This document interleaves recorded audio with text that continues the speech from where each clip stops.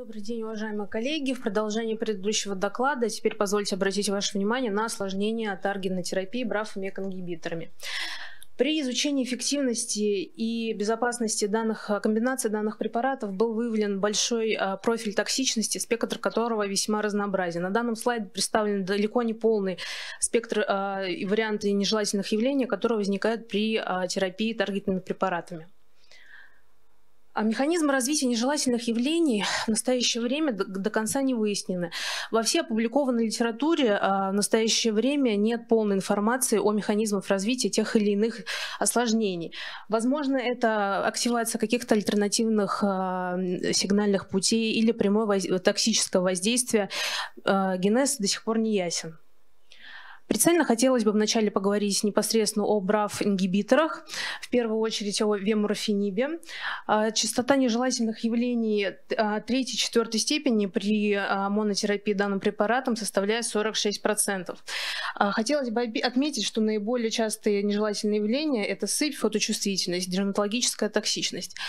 Обратите внимание, что такие нежелательные явления, как аллопец, артралгия, слабость, развиваются через месяцы и недели от начала терапии, а фоточувствительность чувствительности сыпь в первые же дни от начала терапии, в связи с чем необходимо параллельно с приемом таргетных препаратов использовать, естественно, солнцезащитные крема.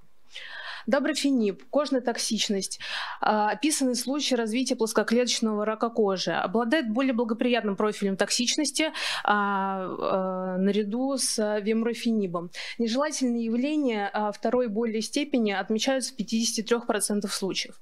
По поводу нового препарата браф-ингибитора энкарофениба. А, он продемонстрировал а, новый профиль токсичности, такое как повышение гамма-глутамин-трансферазы, гипертензия и описаны даже случаи желудочно-кишечных кровотечений на фоне данного, терапии данного препарата.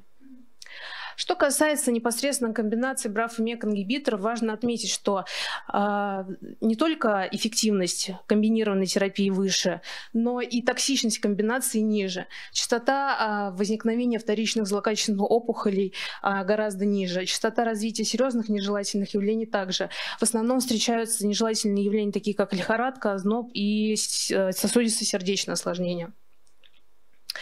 Что касается непосредственно дерматологической токсичности, а, спектр весьма разнообразен от э, сыпи до развития плоскоклеточного рака.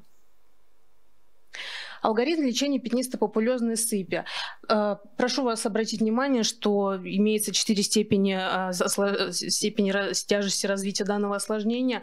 А последняя степень непосредственно развития синдрома Стивенса Джонсона требует прекратить прием браф-ингибиторов. Возможно, в дальнейшем рассмотрение замены вемрофенима на доброфенип.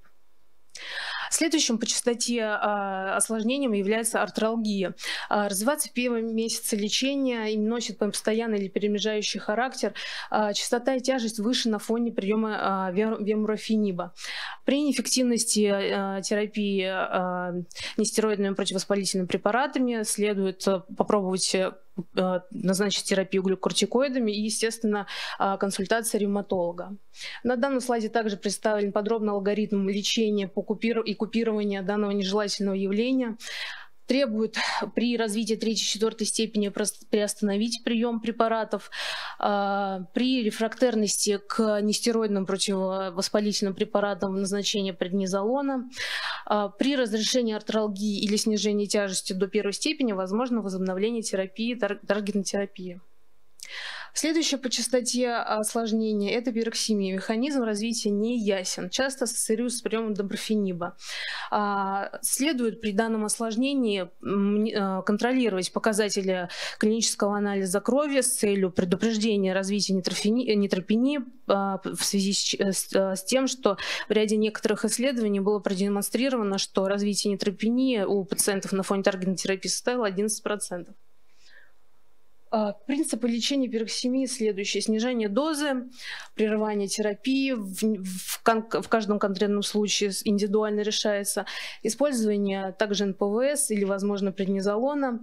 А, следует помнить о лекарственном взаимодействии и отмены таргетной при необходимости назначения антибиотиков. Диарея – достаточно часто нежелательное явление. Развитие четвертой степени является жизнеугрожающим состоянием и требует неотложной госпитализации в стационар для проведения а, а, регидратации с целью восстановления водно-электролитного баланса. Астения. Пренебрегается значимость данного нежелательного явления, однако, э, однако э, сказывается на качестве жизни пациента. Механизм также до сих пор неизвестен. А важно исключить данной ситуации прогрессирования заболевания и так, офтальмологическая токсичность.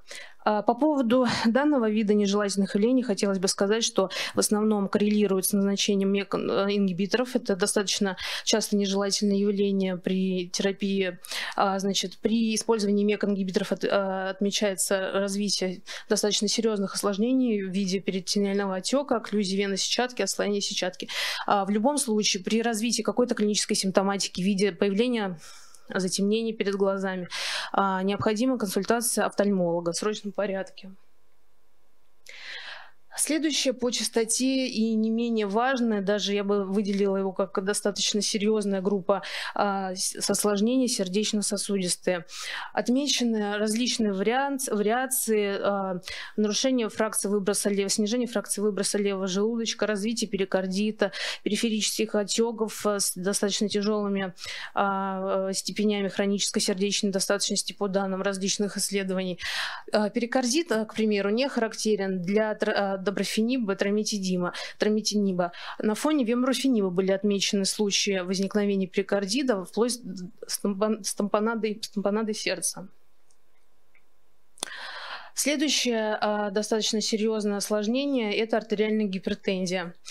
По данным а, исследование, в котором изучалась последняя комбинация препаратов брафомеконгибиторов, энкорофениба и бенемитиниба, было выяснено, что до 6% больных имели а, развитие данного нежелательного явления в третьей-четвертой степени.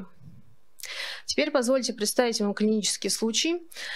Пациентка 60 лет, диагноз меланома кожи левого бедра, а, третья С-стадия. Хирургическое лечение у нее было выполнено, выполнено в декабре 2015 года. Далее была адювантная терапия на, на протяжении года.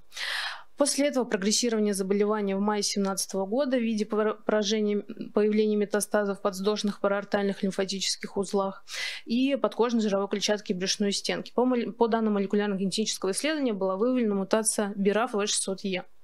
Начата терапия БРАФ меконгибиторами, вемурофенимом э, и кобимитинибом.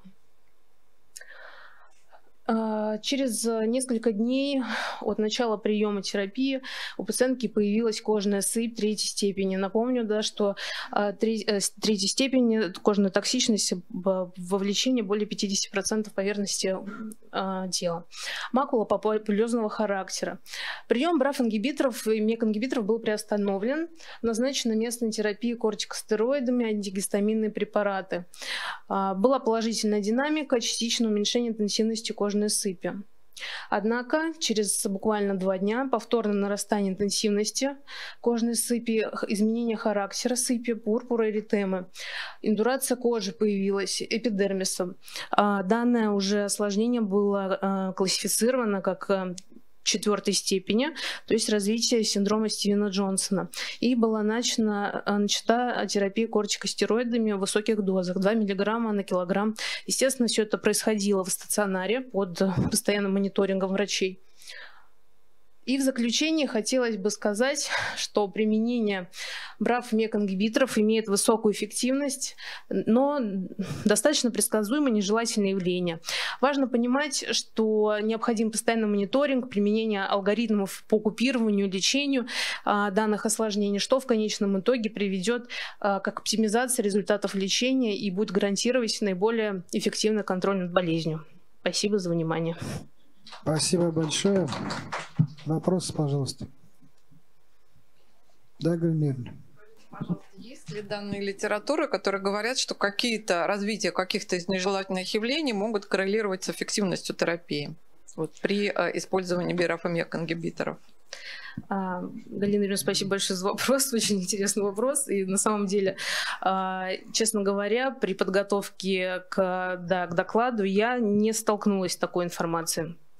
Да, нет данных по поводу того, что есть корреляция какая-то со, со степенью и частотой развития осложнений и непосредственно эффективности терапии.